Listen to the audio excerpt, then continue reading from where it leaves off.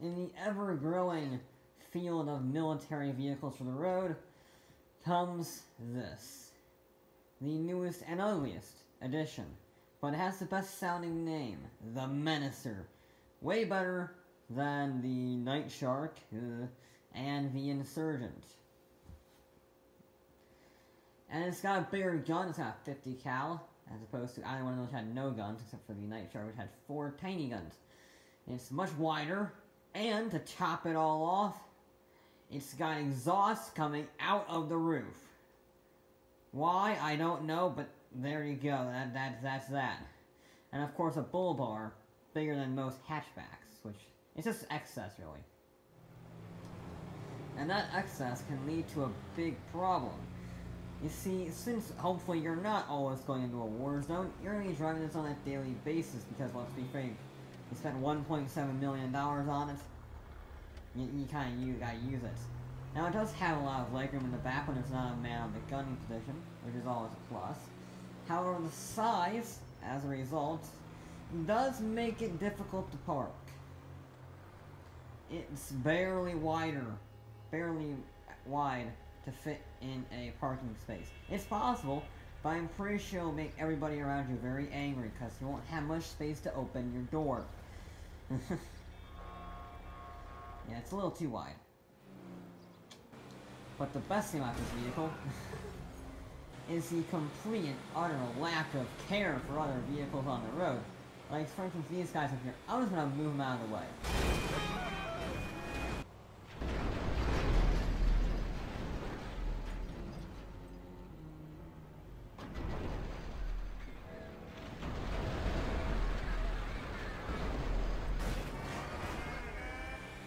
Easy, easy. Just, ooh, out of the way.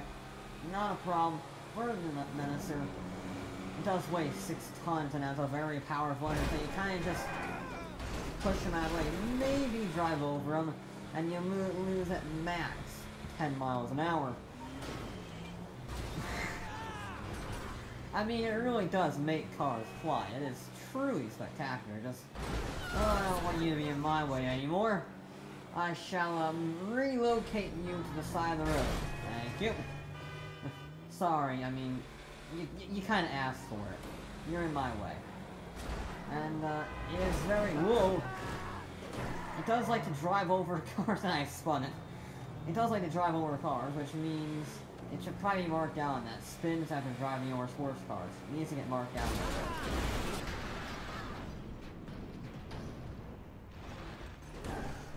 But it is very fun.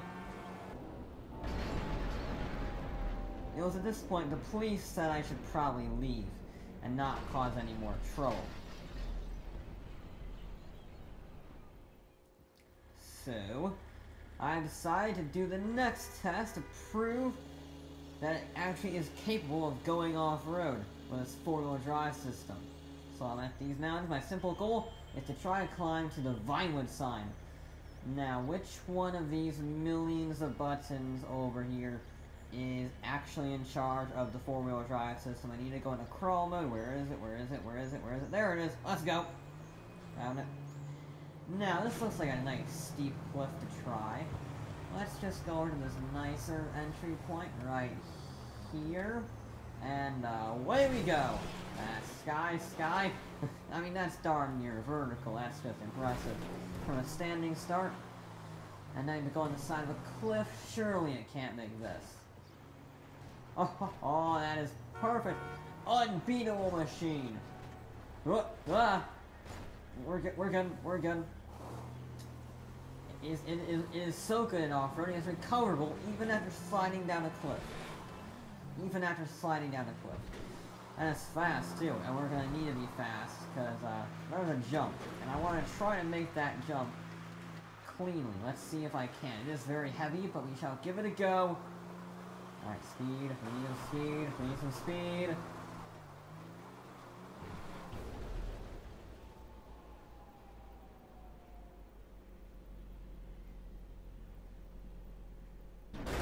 Oh. I mean, it, it almost made it. That's pretty impressive for weighing 6 tons. Alright, we just got another cliff face to climb. It's not quite as steep, but it's still, you know, up there. A little bit of airtime from the from the Menacer. A little bit more to go. Alright, now on the spine of the mountain. This is very easy. This isn't even breaking a sweat going up this hill. And without further ado, ah, there we go. Now let's get to the very top of the mountain, just for fun. There's another sheer vertical cliff face. Sky, sky, sky, more sky, and ground. That is quite terrifying, I will be honest. That is absolutely quite terrifying. Just seeing sky, and more sky, and more sky after that while driving the car. It's not normal. But just a little fence later, and we are at the top of the mountain. I would say that's a pretty successful test. So, is this vehicle worth buying? No. It doesn't look very good. It's not as fast as the Night Shark. It's not as armored as the Night Shark. It's slower, and you can't store it in your garage. All for the low price of $1.7 million as opposed to the Night Shark's 1 million. So, as much as I like the name, and I like the sheer craziness of it, I would never recommend this vehicle. It's just too expensive, too ugly, and there's better vehicles out there.